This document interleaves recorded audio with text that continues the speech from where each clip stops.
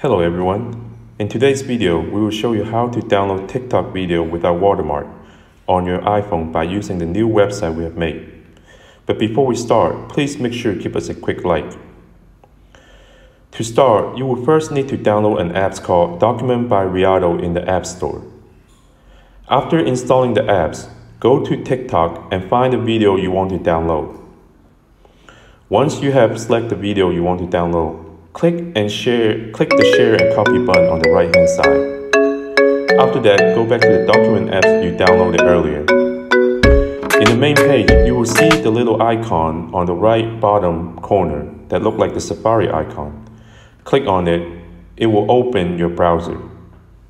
On the address bar, type in tiktokvideodownload.com. It should lead you to the website to download the video.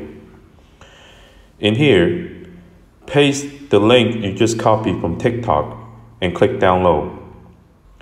In a few seconds, you can scroll down and you will see two options.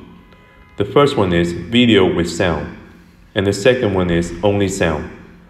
Assuming we want to download video with sound, simply click on it and it will begin to download. Once it finishes downloading, click on the file icon on the bottom left. This will lead you back to the document apps.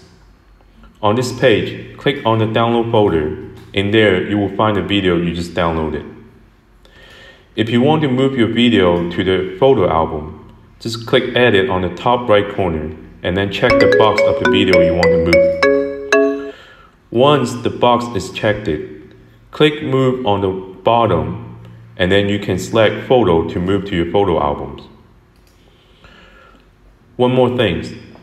In order for this to work, you must download the video from the original publisher. If the video is downloaded from someone who is sharing, then it may still show the watermark from the original publisher. Well, we hope this solved the problem, and make sure you give us a quick like.